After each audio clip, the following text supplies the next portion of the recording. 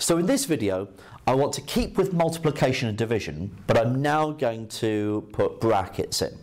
So brackets are going to tell me I have to do this bit first. Okay, so with the order of operations, this is telling me I have to do 5 times 10 first before I do anything else. Because otherwise, if the brackets weren't there, then I would work from left to right and I would do 72 divided by 5 first and then multiply my answer by 10. Okay? But that's not what this is saying.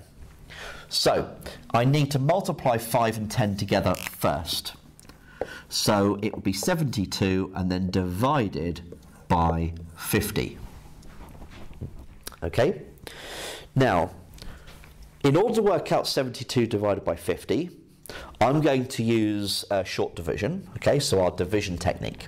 However, uh, the first thing I'm going to point out is that I can make this a little bit easier for myself by dividing both of them by 10. Okay, so essentially what I'm doing is I am looking at a fraction of 72 over 50. And whatever I do to the numerator, I need to do the, to the denominator. So I'm going to divide top and bottom by 10 and look at 7.2 over 5 instead. Because that's exactly the same fraction, and so it must have exactly the same value.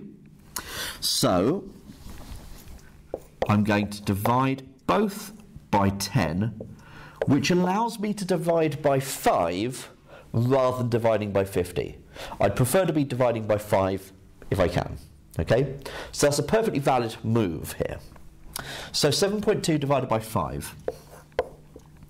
7.2 divided by 5. 5's into 7 go once with 2 left over. Okay, bring up the decimal point. 5's into 22 go 4 with 2 left over. Let's bring in a 0.